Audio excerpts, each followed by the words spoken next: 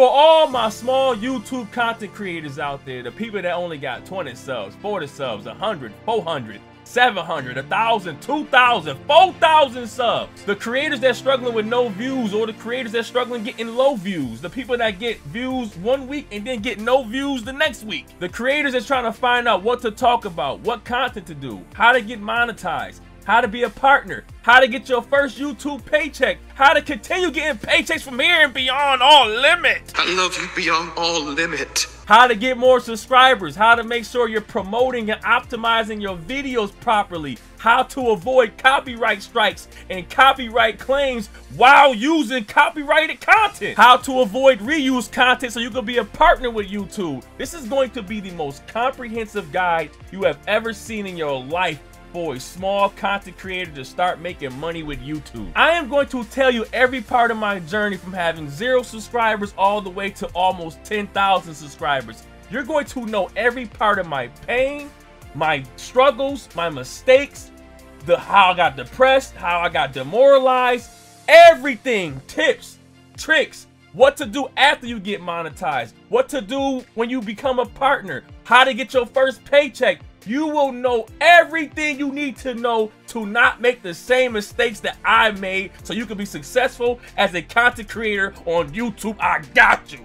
And if I could do it, I know all y'all could do it because I'm slower than a motherfucker. first, I'm going to tell you my first YouTube paycheck. And my first YouTube paycheck was, drum roll please, $188.26. We rich. We not rich. We rich. We broke. I know you're like, oh my God, you almost got 10,000 subs and you only made $188. When I tell you this journey that I've been on, you're going to be in the best situation to make way more money than me. The first thing I'm going to say is I have no social media. Yes, I have no social medias. You can't find me on Instagram. You can't find me on Twitter, TikTok. All I only have YouTube. I don't have Facebook. Nothing. I only have YouTube as my only source of social media. That means I got almost 10,000 subs not being able to share my content on all my social media platforms where if you on Facebook, you got 100 friends, 2,000 friends, whatever, Instagram. I was never able to share my content on other social media platforms. If I had my social medias where I had my thousands of friends on Facebook and I was able to do my content and then share it to my Facebook, do you know how much views I could have pulled in just by sharing to Facebook? I only share to my brothers in my group chat. I share my video and I send it to freaking like four or five of my brothers and I get those five likes to start off my videos and then my supporters. I can't I have no way to share my videos to nobody else but people in my phone. But I did have a Facebook in the beginning of my YouTube journey when I had zero subs and I made my first mistake. And my first mistake on YouTube was going in them Facebook community pages where they, I was in a, a whole bunch of video game pages, Call of Duty pages, 2K, NBA 2K pages, going sub for sub with other people. That is the worst mistake you can ever make trying to start your uh, channel off. What I mean by going sub for sub is you ask somebody else to sub to your channel and then they'll sub for yours. And then you thinking that y'all both sub to each other, that means y'all both can watch each other content. It does not work like that. People do not watch your content. That was a horrible mistake I had made trying to start off my YouTube channel. I gained 200 subscribers going sub for sub. That is 200 different people sub for sub with my channel. It caused a whole bunch of problems. Everybody in the pages is like, you not even watching my stuff. Y'all not even watching my stuff. It was a terrible experience because you got you you end up having 200 people that you're not going to be able to follow back and watch their stuff and it makes other people upset. Do not go sub for sub trying to start your YouTube channel off bad experience. If it's one thing I know, if you're properly promoting yourself, YouTube will give you subs organically. Should I have started off like saying tip one, two, or three? Yes. I don't know what tip I'm on, but I will say this. When I started off my channel, I didn't know what kind of content I wanted to do. I didn't know if I wanted to be a gamer. I wanted to play Call of Duty, Halo, 2K, Madden. I wanted to talk about sports. I wanted to be a reactor. I wanted to do skits. I didn't know what kind of content I was doing And that was a very, very big problem. Another thing I figured out with YouTube is consistency is king. Hear me out. Let's say you have zero subscribers and you wanted to play Madden for a month. You wanted to do Madden football content for a month and you gained 100 subscribers. Then you switch up and you wanted to do skits. You want to be a funny guy. You want to do skits for a month and you gained 100 subscribers from doing skits. In your mind, you think you gained 200 subscribers. No, Padre. Those 100 subscribers that watched you playing Madden does not care about your skits. And those 100 subscribers that care about your skits are not trying to find your Madden videos. So every time you change your content every month, just know that you always start back at zero. So if you gain 100 subs with Madden, 100 subs with 2K, 100 subs with making skits, and you got 300 subs, you do not have 300 subs. You have 100, 100, 100. So you'll be like, hey, I got a thousand subscribers. Why am I only getting 50 views? Maybe because you changed your content five times to get them thousand subscribers. So you already kept limiting yourself with your own fan base. Every time you change your content, you lose your subscribers. You have to stay consistent. Find your niche, stay consistent. This is for the small content creators. I'm sure the big content creators can do whatever they want. But for the small content creators, you have to find a niche, stay consistent, cater to your fans. I can't tell you how many times I changed my content and one time I'm doing good and the next time I'm doing horrible. One video doing 800 views, the next video doing 20 views. And I'm like, what is going on? Why I'm not getting no views? Because I keep changing my content. And you know when you're losing your subscribers. Them people that's in them comments when you play Madden, are not in them comments when you doing your little skits or you're playing 2K. You know, like, man, what happened to Bob? Bob don't reply no more. Bob is gone. He mad you changed the content, dummy. I am the smart. I am the smart. This is gonna be long, y'all. My bad. But y'all have to know my struggles. I'm here to struggle so that you don't. Let's get into the four T's. Title, topic, timing, thumbnail. The first T, title. I'm going to give you a good idea to have a great title. You want to make sure your title sticks out. It grasps the audience eyes. You want to use words like expose, destroy, disrespect, embarrass, the best, the greatest, must watch. You want to have your title, your words pop out for the eyes to see. I'll give you an example. If you're playing a video game like Call of Duty, you want to say this is the best assault rifle class in Call of Duty you can capitalize the best or the greatest assault rifle class. Or if you're doing a reaction, if you're doing a reaction to somebody like 50 Cent dissing Rick Ross, you want to use words like 50 Cent exposes Rick Ross. 50 Cent disrespects Rick Ross. You want to have your title pop out and people are like, oh, what did he say? What did 50 Cent say? You want to make sure you have your title pop out to the public. People of high rank in these video games always say how a top 100 player plays such and such. They have these titles that pop out. Like, I want to know how a top 100 player of this video game plays.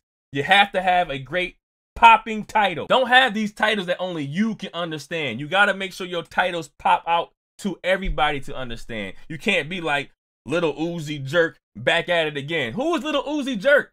If I'm the person trying to type in Little Uzi Vert, I'm not typing in Little Uzi Jerk. That is your joke. That's a horrible title. It won't get no views. Damn.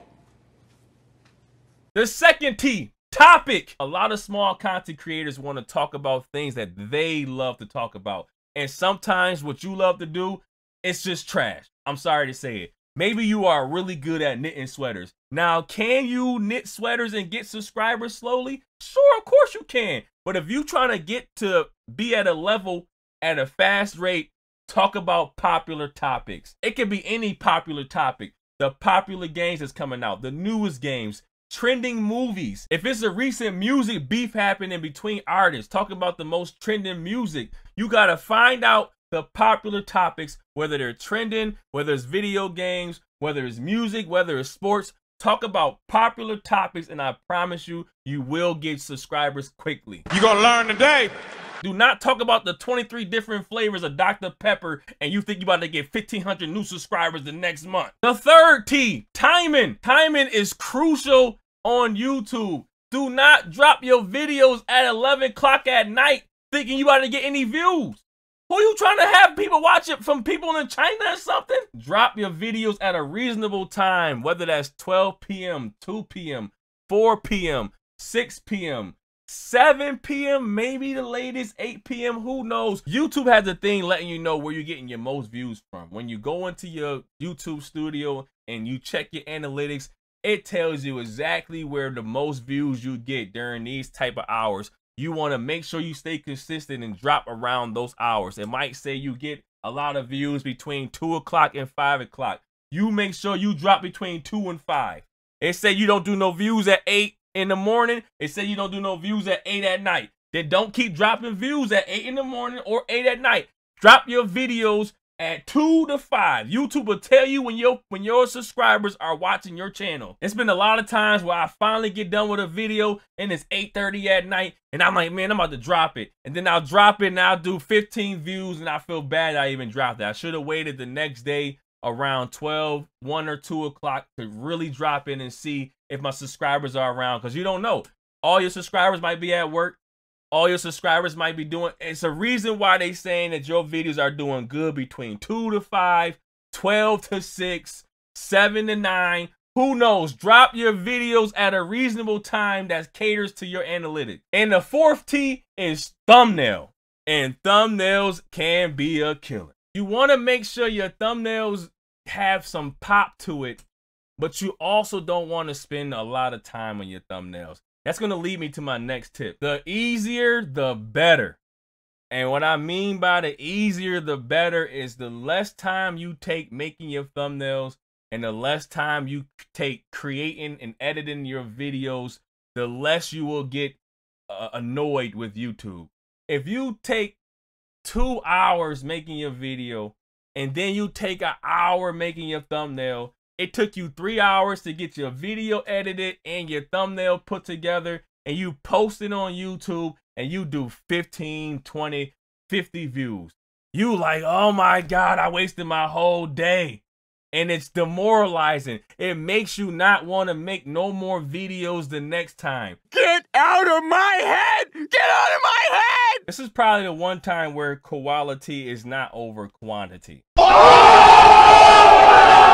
I know what you think. You're like, oh man, the big YouTubers had these special effects in their videos. Everything's shaking, the screen's shaking, the lights are flaring, everything popping. I want my videos to look like that. They have editors. Most of these guys have editors to do it for them. We small content creators do not have editors. We need to make our life easier. Do not try so hard trying to make your video so special. The special effects, the, the screen pumps, the light flares.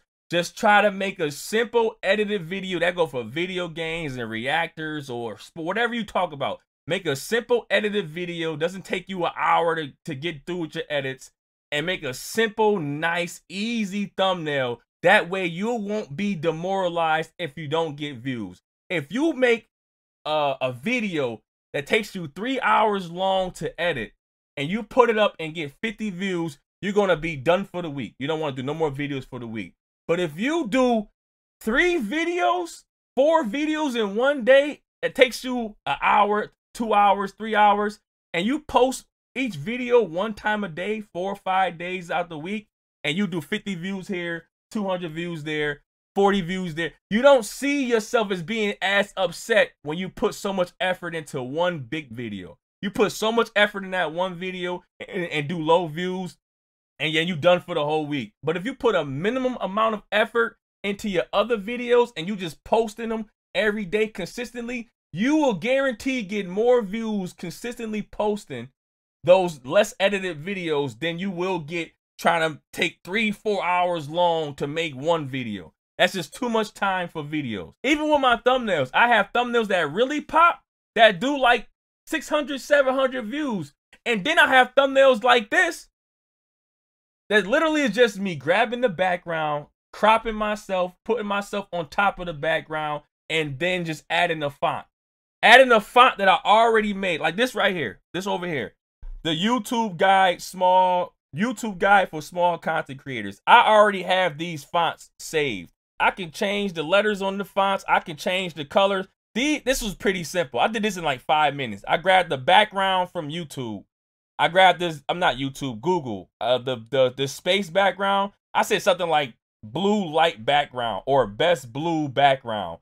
I typed in best blue background. I grab this background. I type in transparent 100k views. I type in transparent YouTube logo. I type in transparent uh freaking money over there, and then I've just put this all together within like five minutes. Look, look, I, will show you. I'm in Affinity Photo. I don't know if it costs like fifty dollars. You could probably find free editors, but this literally took me like five minutes. This stuff moves. This stuff this moves all over the place. This is transparent that I got. I went to Google and I searched in transparent YouTube logo. I searched transparent views. I searched transparent uh money dollars, money right there. Here's my font uh right here. I can change the color of the font if I wanted to. I can make it yellow, whatever. Even for this font, I could change the color of the font. It's just I could change the type. It's just I already had I already have the font already made. So nothing changes.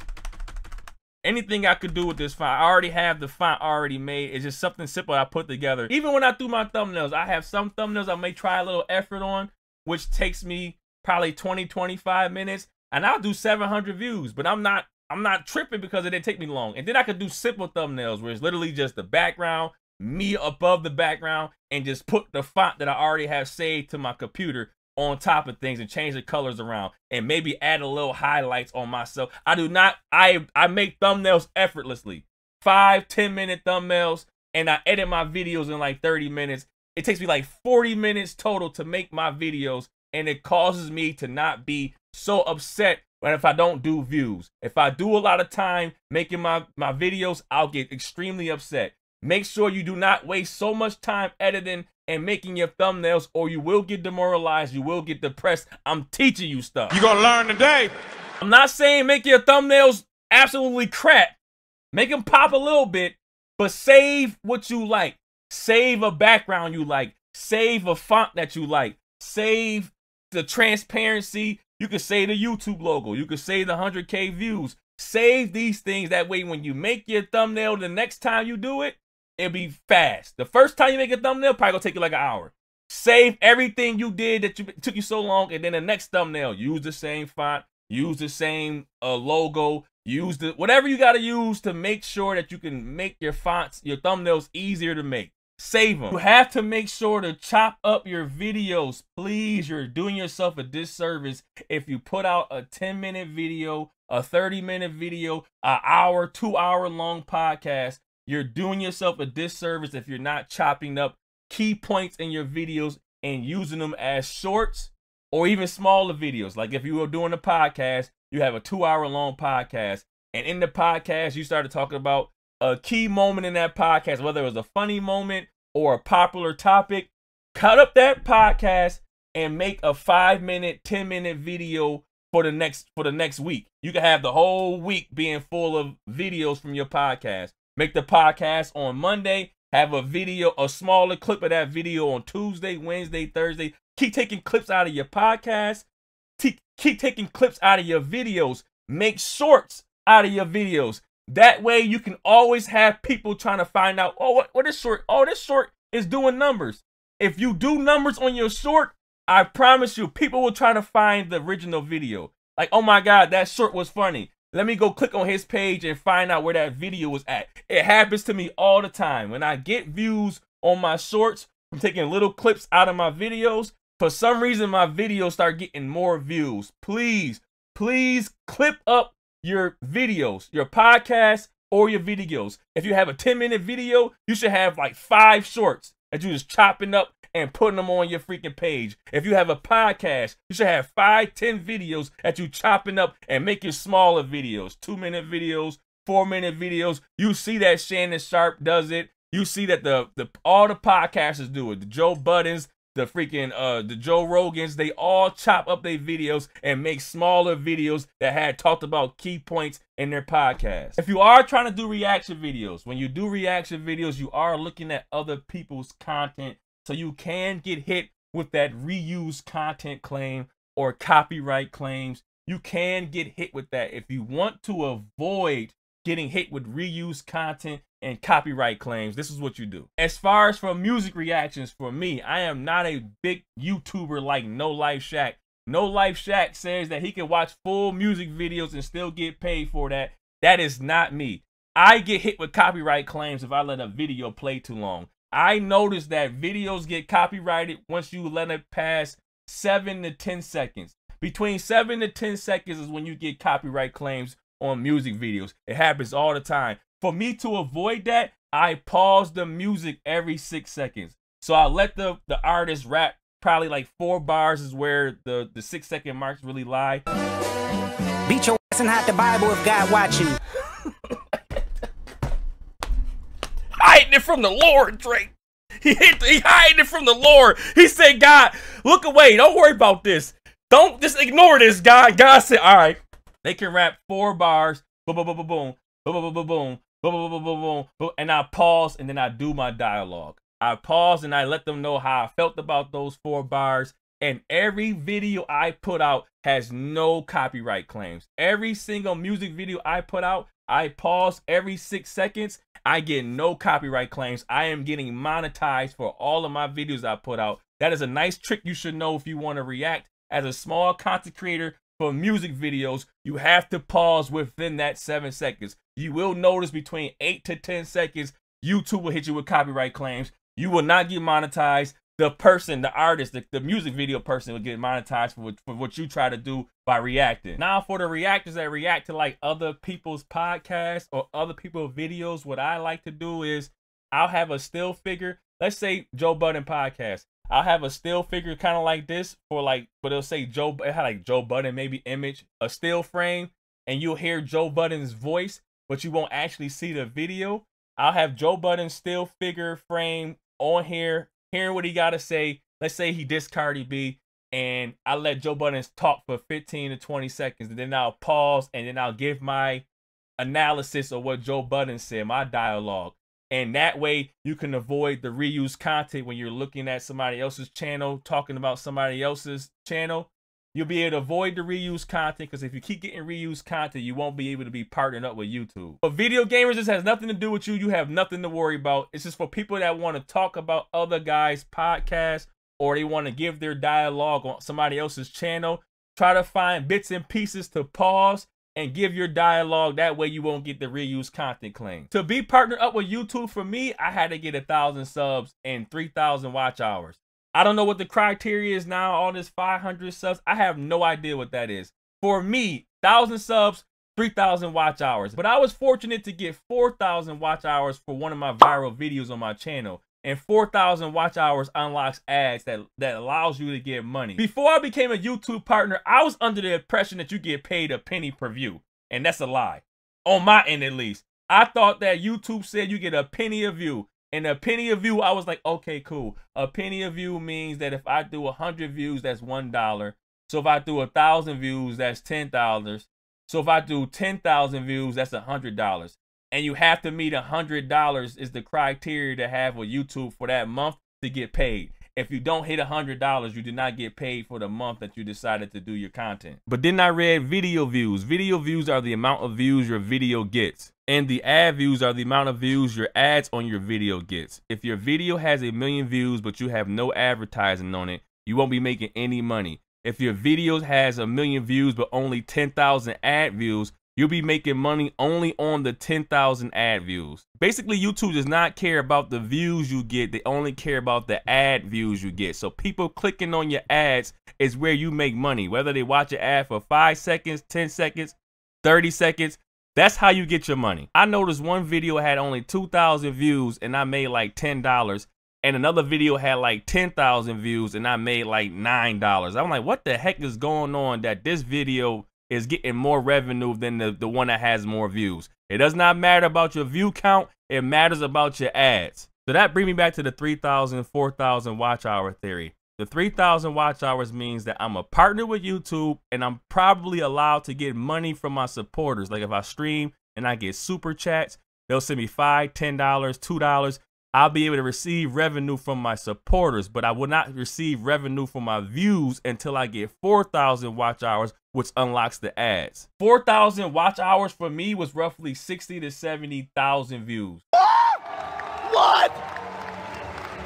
What? That's for the whole year. You have a whole year to get 4,000 watch hours. So between when you if you start in October your YouTube channel, you have until October to get 4,000 watch hours watch hours does not count for shorts. Shorts are not included for watch hours. You only get watch hours from the videos you make. The videos you edit and upload, the 5, 10, 15 minute, 2 minute, whatever videos you make, those are your watch hours. You do not get watch hours from shorts. Now, I forgot this process, the Google AdSense process. You have to have a Google AdSense account connected to your YouTube to when you finally get money, when you finally get paid through YouTube, you have to make a $100 in the previous month for you to get paid next month. You have to make a $100 in August to get paid in September. You have to make at least a $100 in September to get paid in October. For me, a $100 for me, how many views was that? It, it was about 20 to 30,000 views for me to get a $100. So for that one month, I had to do at least 20 to 25, 30,000 views to make a $100. I have no idea if that's for everybody else. I'm just telling you my journey. You need to have a Google AdSense account connected to your YouTube. Google AdSense is something through Google where if you make your hundred dollars on YouTube, that's great and all, but it has to transfer to your Google AdSense account. So Google AdSense, they'll, they'll have you a whole setup where you got to connect your Google AdSense to your YouTube, and then you'll be able to transfer your money through YouTube your Google AdSense account, and you go through this whole process. You have to link your YouTube account to the Google AdSense account. If you don't link your accounts together, which I'm pretty sure YouTube does the whole tutorial process when you're making your account or whatever to link your Google AdSense to your YouTube. And if you don't know it's linked, you should see the identification number on your YouTube studio. And then that same identification number will be on your Google AdSense. And that's how you know you're linked to the same account. You got to confirm your identity on Google AdSense. That's a whole process in itself where you're confirming your identity and then that takes like one or two days or whatever for them to say, oh yeah, that's you. Sending your identification, sending your ID. Then you gotta confirm your address. Once you type in where you live, take like seven days for them to send you something in the mail. So don't be scared. Like where my where my mail at? Where my mail at? Set about seven days. Google AdSense. See how it look? I don't know if y'all can see that. Google AdSense will send you this in the mail. They'll send you a PIN number. I don't know if I should show you the PIN number. They'll send you a PIN number and you got to type in that PIN number in Google AdSense to confirm your address. Once you confirm your address, you got to do your W-2s, put your W-2s in, and then you'll notice that, oh, I probably activated my account for real this time. Because on YouTube, it'll say you made a $100. But on Google AdSense, it say you made zero. After you did all your confirmations, your ID, your W-2, your Google, your, your address, you'll notice that YouTube will send the money over to your Google AdSense account. It doesn't it's not right away. It takes about the middle of the month. So let's say you made a hundred dollars in August and then YouTube said you made a hundred dollars. On September, you won't know it won't transfer over to the Google AdSense to like September 14th, 15th, or 16th in the middle of September. So don't be scared, like, oh my God, I got money on YouTube, but it's not transferred over to my Google AdSense account. It transferred over in the middle of the month, the next month, about a week before you get paid. I made a $100 in August. Google AdSense shows I made a $100 September 15th. And then I'll get paid September 21st or through 25th. So don't get too flustered if you don't see your money going immediately to your Google AdSense account. And you also have to confirm your bank you got to confirm a bank, and then Google AdSense will send like a dollar to your bank, and you got to let them know you got the dollar. Probably another PIN number, probably another PIN code you got to put in. So it's a lot of tedious processing after you finally become a partner and setting up your payments. If y'all wondering why it took me so long to get monetized and be a partner with YouTube, because I'm almost at 10,000 subs and I just got my first paycheck, this is the painful journey I had went through. When I was starting off my journey, I was reacting to reuse content. I was reacting to people's interviews. I was reacting to people's podcasts. And every time I did it, I didn't get a copyright claim. I didn't get copyright claims for reacting to people's uh, interviews or podcasts. So I thought I was doing everything right. I'm like, hey, I don't have no copyright claims. So I must be doing everything within the guidelines of YouTube until I try to get monetized, until I try to apply for a YouTube partnership. So when I applied for the YouTube partnership at around 3,000 subs, they hit me with the reuse content claim. What? They told me my channel wasn't able to get monetized and I can reapply next month. And I was like, it's no way. Everything had no copyright claims. then I did think about it. I did have two videos like eight, nine months ago that did have copyright claims on it. But I'm like, I couldn't think that far back, so I deleted them. So I had to wait a month after I deleted those videos. And fortunately, but unfortunately, I went viral. Talking about Katt Williams got me so viral. I mean, I made about 15 and like 20 shorts about Katt Williams. I was hitting 10K, 20K, 20K, 100K, 160K. Talking about Katt Williams, that's another tip. Capitalize on your viral moments. If something goes viral, do not do one video of that viral moment. If you get something viral and your video does 10,000, 5,000, 1,000 views, talk about it again. Find a way to talk about it 5, 10, 5, 10, 15 times and keep on racking up the numbers. Katt Williams, I was, it was amazing. You need to capitalize off your viral moments. It, it could be a viral movie, a viral video game, a viral interview, a viral tragedy, a viral about politics, something about Trump, whatever it is. If there's something viral that, that's in your frame of talking about it, please talk about it and do not do it one time. Do it plenty of times. Capitalize off the viral moments. How the fuck you know this? So I went viral. I had no copyright claims. I reapplied to YouTube partnership and I hit me with another reuse content claim. What more do you want from me? YouTube does not tell you the video that you have to delete to get partnered up. You just gotta be lost and just assume that, oh my God, which video was it? Because I have no copyright claims. I had no copyright claims, and all I could read is the guidelines saying that some videos may not have enough dialogue in them. If you have a video or a short that does not have a lot of dialogue in it, they'll say it's reused content. So I had to start thinking like, uh, maybe I'm not talking so much in these videos. I should probably delete this. I'm not talking that much in this short. I had to start cleaning up shop without knowing if I'm doing the right thing or not. And I went viral again. Kendrick Lamar and the Drake beef. I started going viral with the Kendrick Lamar and Drake beef. And I didn't do one. I didn't do two. I did video after video after video. I was getting 20K, 15K, 10K, 8K. I did video after video and then I got my most viral video. I reacted to this Drake video and got 140,000 subs. Remind you, I'm still under the reuse content claim. I had to wait three months this time. The first time I got it was one month. The second time I got it, I had to wait three months before I could reapply to YouTube. I was so scared to get hit with another reuse content claim, I deleted all my viral videos. Yes, I deleted everything. I had over 300 videos on my channel and I cleaned out my whole channel and started from scratch only having one video on my channel which was the 140k view Drake video. Long journey, painful journey. Put in my claim in July. I finally got approved off of having one video on my channel.